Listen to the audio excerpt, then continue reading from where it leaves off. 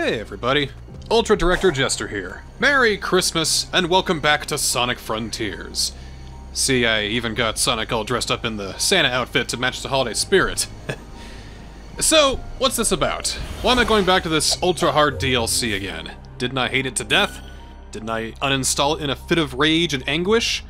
Well, since our last outing regarding the Final Horizons DLC, Sega and Sonic Team have uh, since released a patch, Update 1.41, that basically fixes virtually every single goddamn problem that I touched on.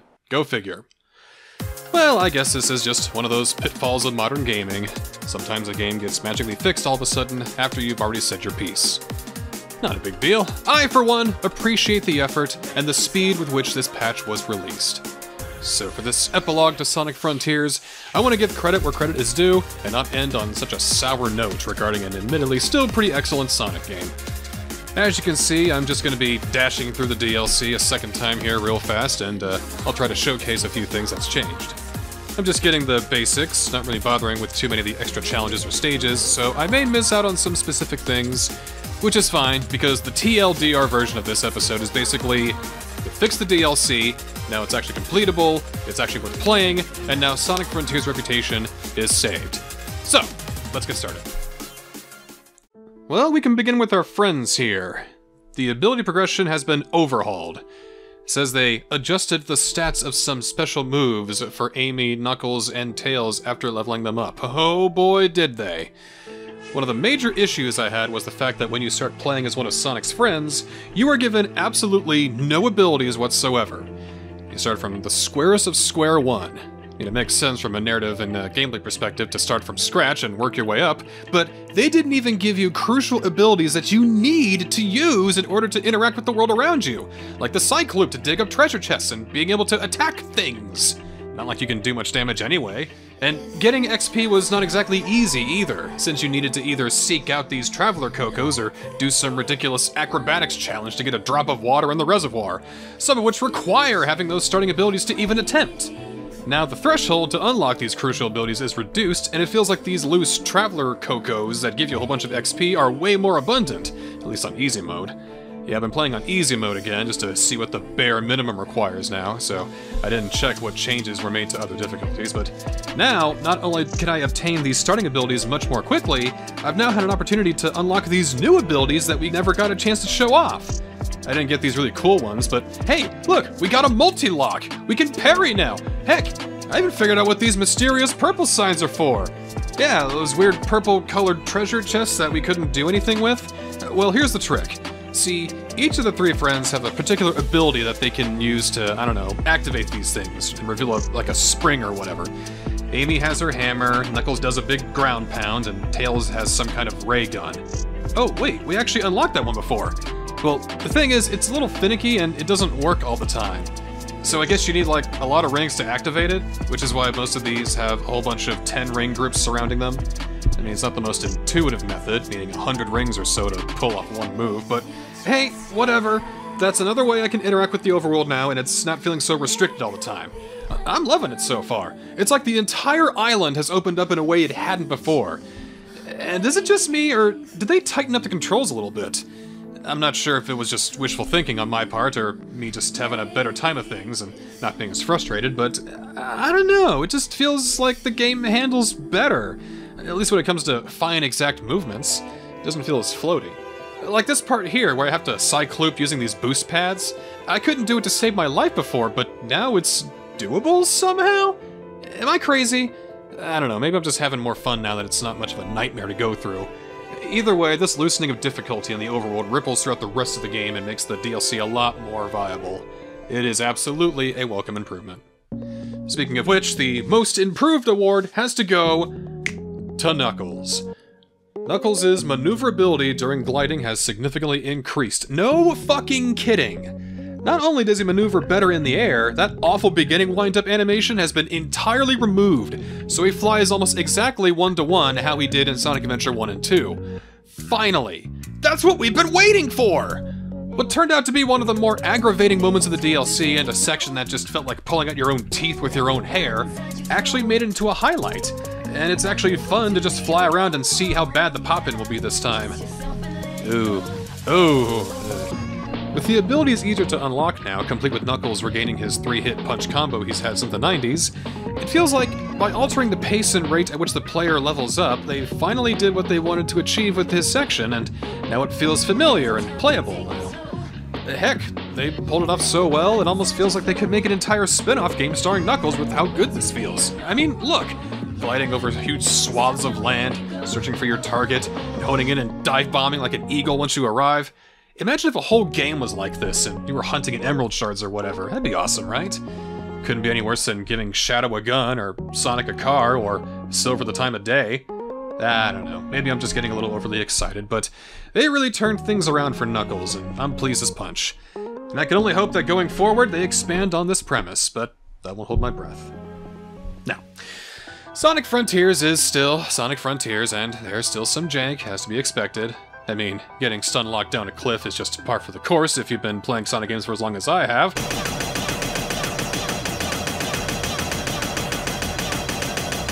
And the pop-in is still in full effect. But this low-res tree certainly took me by surprise. Yeesh. Well, that's nothing. But there are some things that Sonic Team remained firm on, and even doubled down on some things. For instance, Tails strangely still has no lock-on function, which is still baffling and clunky. I mean, you'd see a thing for him to lock onto, and he just can't do it. It's so weird. The top tier abilities for the friends are still uh, understandably pretty expensive, with a bit of requisite grinding being necessary. That makes sense too. But the most doubling down comes in the fact that the cyber stages have not changed their stances one bit, and they are still as nightmarish as before. They really want you to do each of these stages and all of their crazy stipulations. But they did one very important thing differently. If you happen to die before hitting a checkpoint, which is going to happen many, many times, the timer would not reset. So you would have to manually restart the stage on your own or risk getting a crap rank. Now, when you restart, the timer resets as well, eliminating the need for a manual restart. Now you can just jump back into the game. This deceptively simple quality of life update does absolute wonders with the flow of gameplay. Instead of having to do a button prompt sequence to restart the entire level every single fucking time you die, you can just automatically get back in the action without having your frustration compound upon itself. Adding the other improvements on top of that, like the smoother gameplay in the overworld accommodating me better, and the actual fun that I'm having with my other friends, I can actually dedicate a bit more time and patience to these cyber stages, since I'm not getting as discouraged as before. It's just a really difficult stage that I can realistically chip away at and take my time on, rather than just another round of torture on top of all the other tortures. And while it's still a brutal challenge in its own right, that's far more manageable of an ask. So you can either put your skills to the test, or you can do what I did and not fucking bother with them. No big deal. Stage is too hard, ignore them. I blazed through the DLC in about uh, three hours or so, skipping all the dialogue, ignoring most of the challenges, stages, even the optional side stories with other characters. I got on by finding lookout Kocos buried in chests as I went along, and save for needing to get an extra one or two, I've never had a serious roadblock. There's no real reason to even enter these stages, let alone fully complete them. Well, there kind of is, but we'll get to that. Okay, now that Sonic's friends and the basics are covered, let's go to Sonic's portion. The towers are still here, but they feel vastly different than before. You see, used to be they had these pink balloons for easy mode to make the towers easier to scale, but now they've revamped them somehow and made them even easier. Now we have these orange balloons to help out. They've added these clusters of ring boosts all around to prevent you from falling, and they even put in multiple pathways, so you can either take these orange balloons and go on the automated easy path, or you can forego those balloons and springs and jump into the actual challenge anytime you want, where there will be most likely another row of balloons to carry you through as well. So if you do happen to fall, you can either hopefully lock onto one of the many balloons and get back in the fray, or eat your humble pie and start all over again.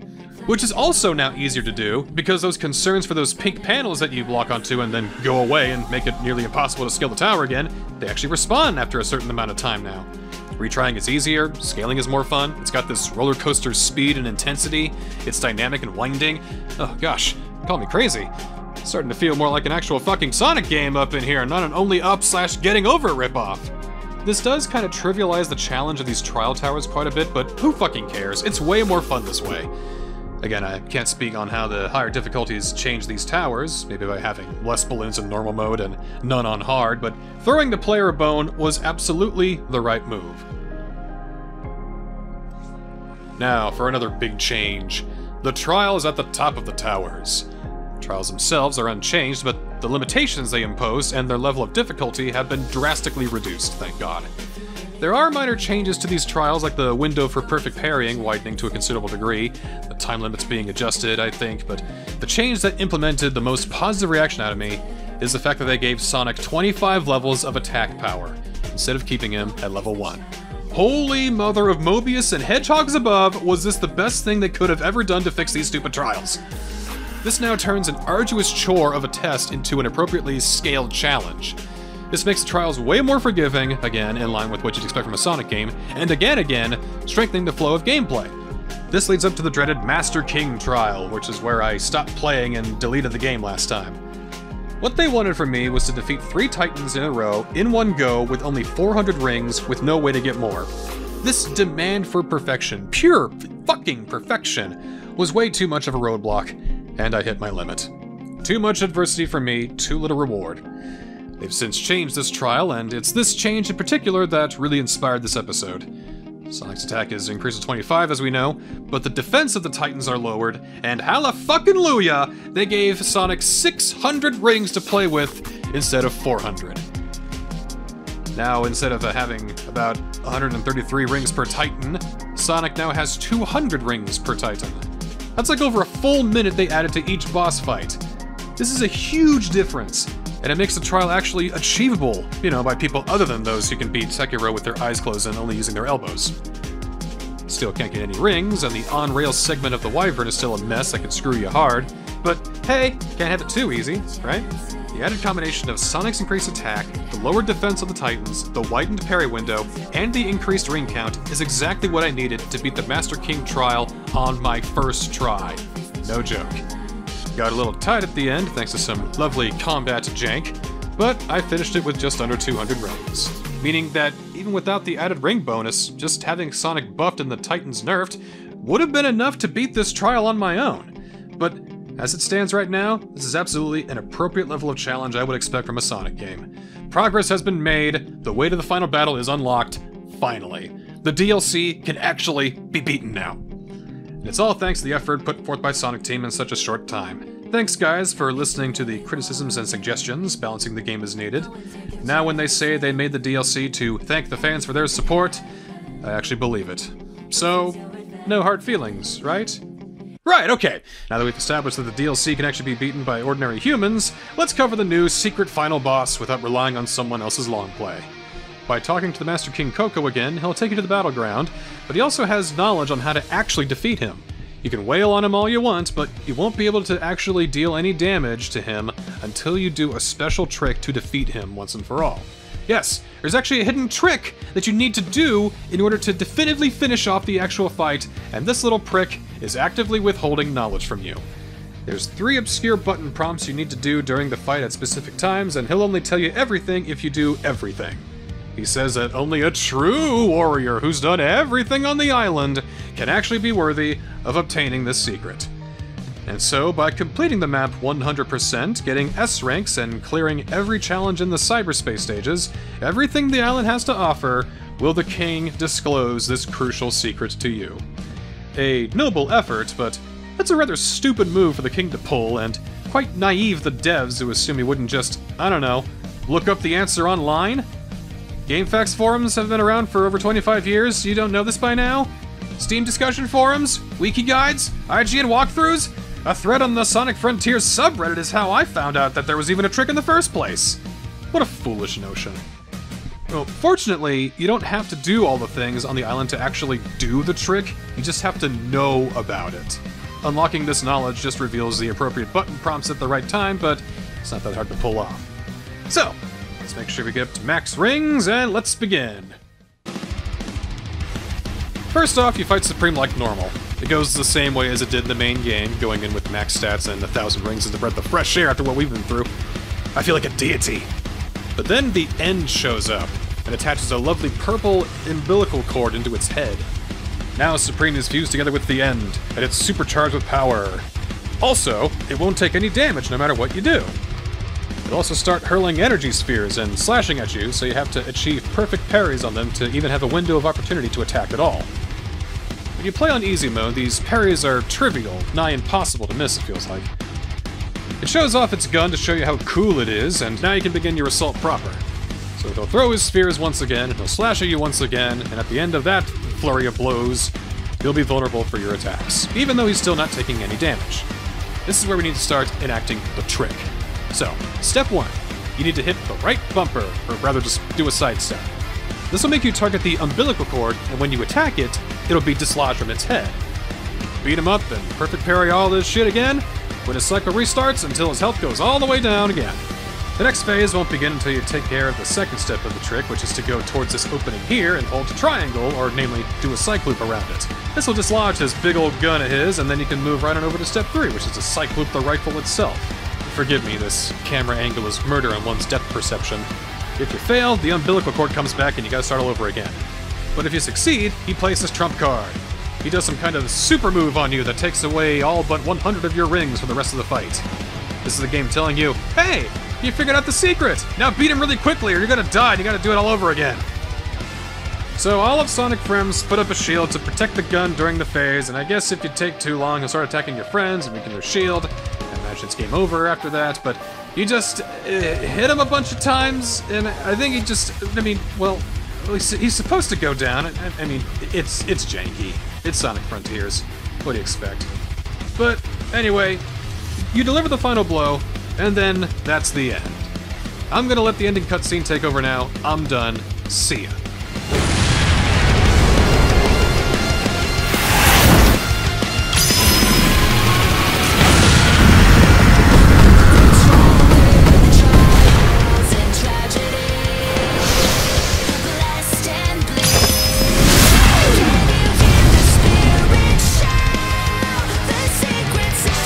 It's now or never!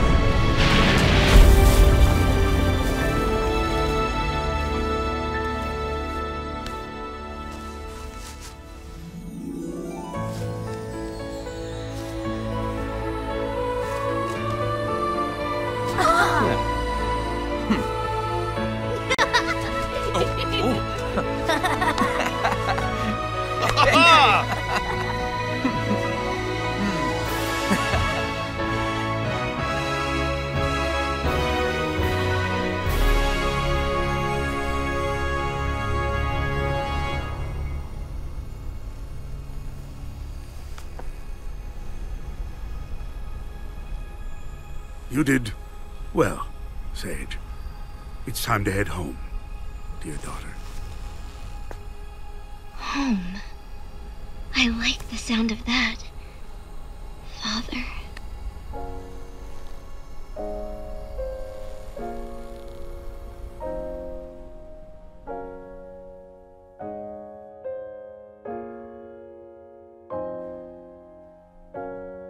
Sage got her happy ending. Hooray!